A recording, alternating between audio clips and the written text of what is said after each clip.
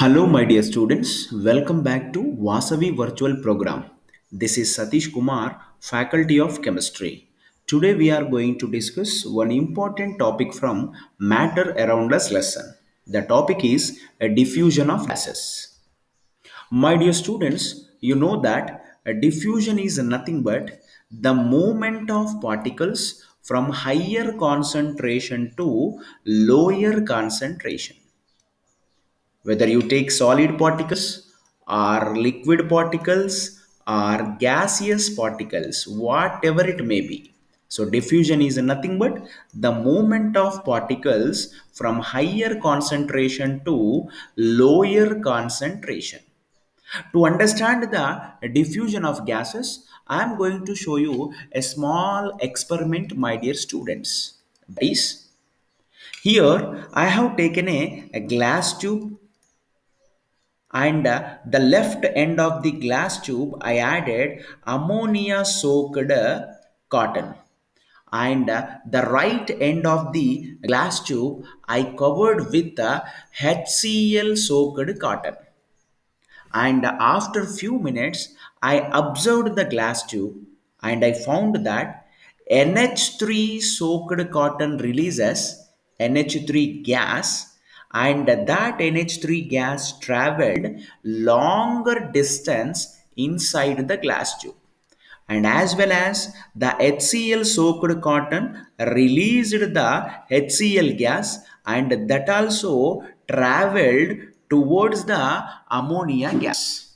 But after the observation, the ammonia gas diffused longer distance in the glass tube and the HCl gas diffused lesser distance in the glass tube.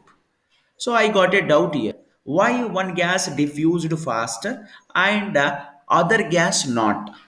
So I found the reason that is when I observe the ammonia gas molecular weight is that is only 17 grams and as well as the hydrogen chloride gas molecular weight is 36.5 grams. So from this point, I got clarification that the gases which are having lower molecular weight that can travel faster than the other gases which are having higher molecular weight.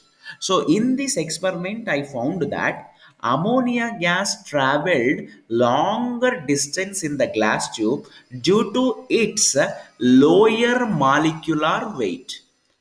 And HCl gas diffused lesser distance in the glass tube due to its higher molecular weight. And as well as we found one white color layer inside the glass tube when NH3 gas directly hit the HCl gas and the white color ring is equal to NH4Cl nothing but we can call ammonium chloride. So when NH3 gas directly react with HCl gas we will get a product the product name is ammonium chloride. The nature of ammonium chloride is a releasing of white color fumes so that white color ring we can observe inside the glass tube which is near to the HCl soaked cotton. So why the ring NH4Cl ring is forming near to the HCl soaked cotton? Because ammonia is having lesser molecular weight than the HCl that is why ammonia gas is traveling longer distance in the glass tube and reacting with the HCl gas. There is a formation of ammonium chloride near to the HCl soaked cotton.